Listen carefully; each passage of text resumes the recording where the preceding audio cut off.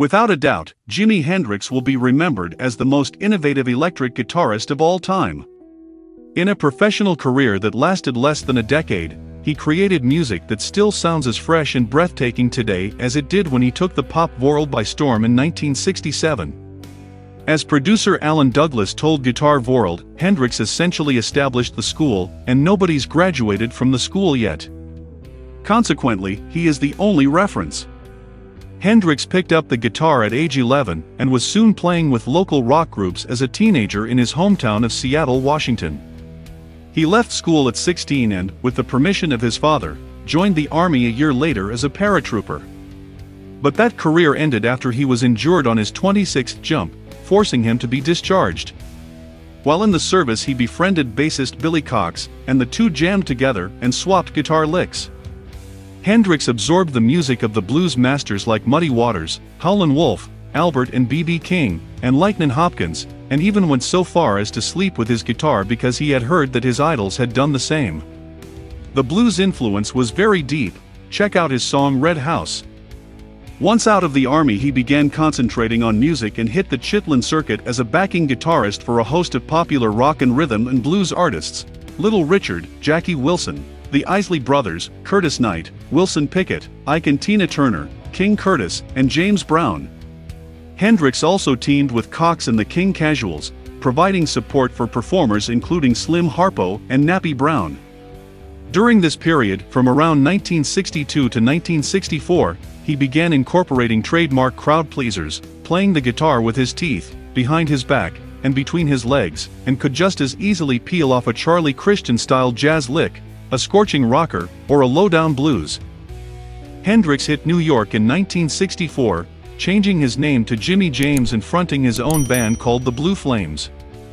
Fellow guitarist John Hammond, Jr., heard them playing at a dingy little club called the Café Wha in Greenwich Village and asked Hendrix to join his group, but their eventual collaboration at the nearby Café Au Go Go lasted only a few weeks. I knew there was no way he was going to be my guitar player, Hammond told Guitar Player. He was his own star.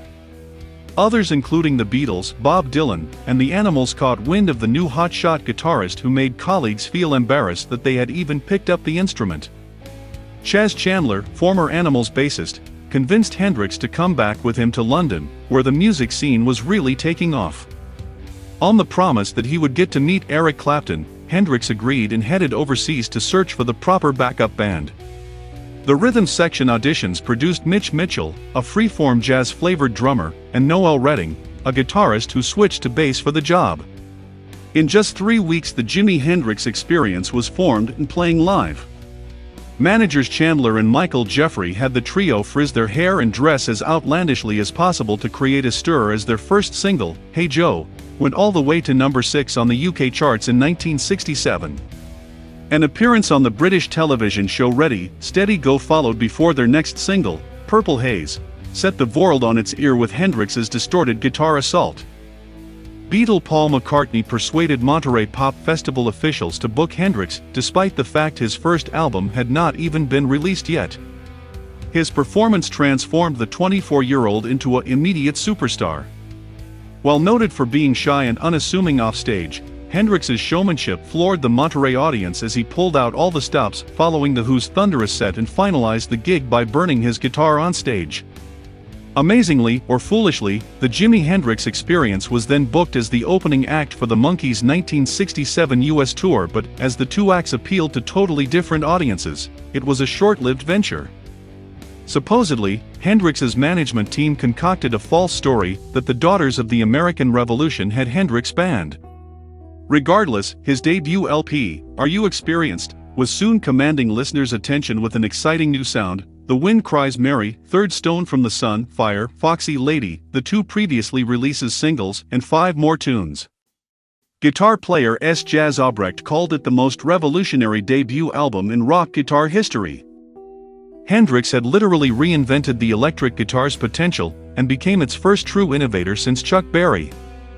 Although earlier in his career Hendrix could play ambidextrously, he eventually settled on using a right-handed Fender Stratocaster restrung upside down and played left-handed. He manipulated the tone and volume controls, which were now on top, to make unique effects, and became the first to fully realize the vibrato arm's usefulness by creating dive-bombing shrieks and bending full chords. He custom-shaped the bar himself in order to obtain a three-step variation, instead of the stock bar's one step. His rapid-fire flicking of the toggle switch produced a bullet-spitting rattle, machine gun, while his huge hands allowed for extreme reaches and funky chordings. Compared to contemporary guitarists, Hendrix's use of special electronic effects seems very limited. His basic setup included a Univibe, to simulate a rotating speaker, a wah-wah, and a fuzzbox. The key however was to channel this through a stack of screaming Marshall amplifiers with the volume wide open. Hendrix harnessed the feedback whereas others had barely been able to control it. His ability to play clean leads and distorted rhythms simultaneously is still a mystery. Like John Coltrane on the tenor sax, Hendrix expanded the boundaries of his instrument like no one before or since. In 1968 Chandler quit and Jeffery became sole manager of the experience, an arrangement which troubled Hendrix until his death. Almost 20 years later, Hendrix's estate is still a financial nightmare. He released his second LP, Axis, Bold as Love, which contained more of his magical sounds on tunes like Little Wing, If Six Was Nine, Castles Made of Sand, and EXP. His third album, the double-set Electric Ladyland, was released just nine months later and displayed Hendrix's flair for studio tricks, and included guest musicians that included Steve Winwood and Jack Casady.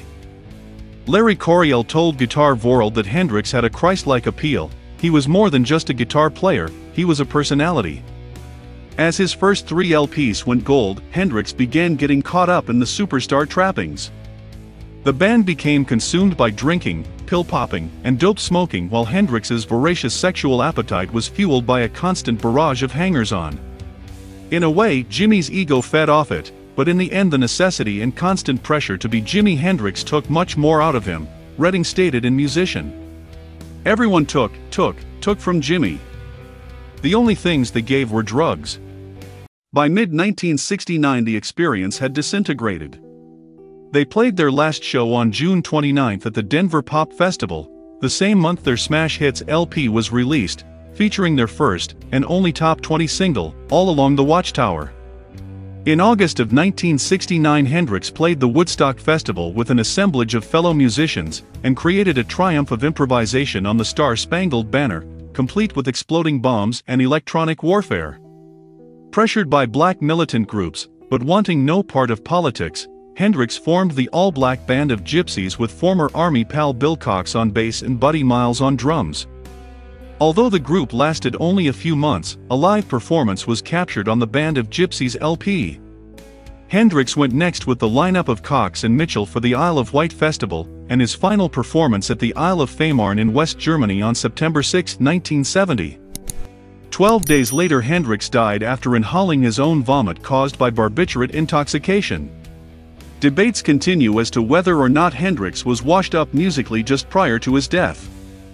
Some say that he could not perform at all, which is not surprising given his physical state.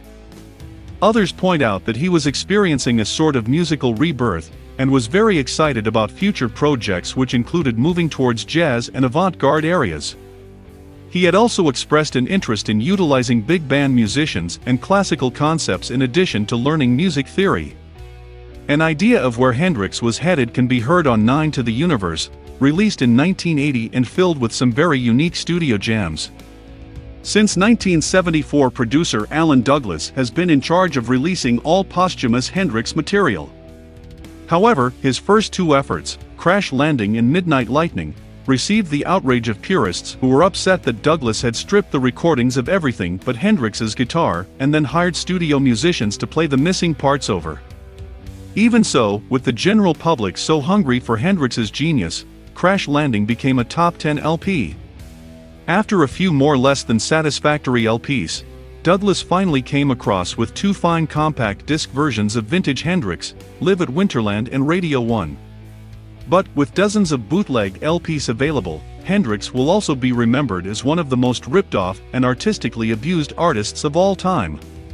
The aura of Hendrix still lives, guitarists like Robin Trower and Stevie Ray Vaughan pay their respects to the master while turning on new generations to his music.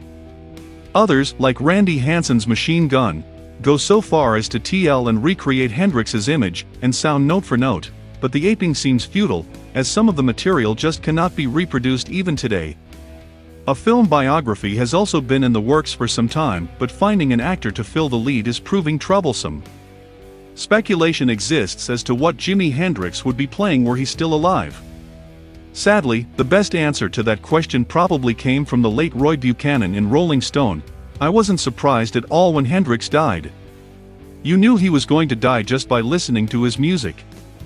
It was all there, he had done it, all, and he almost had to die to finalize it.